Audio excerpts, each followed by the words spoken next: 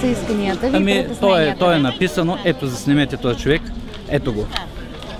Ето ги исканията. Искаме, искаме мир, искаме любов, искаме радост, милост, свобода. Мисля, че това са най-нормалните неща, които може да иска един човек. И мисля, че това е, ня, в това няма нищо лошо.